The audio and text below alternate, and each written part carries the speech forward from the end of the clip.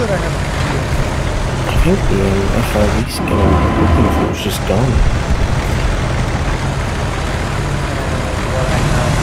I a skin. Oh no, I was gonna get a skin for this because this one looks creepy as fuck.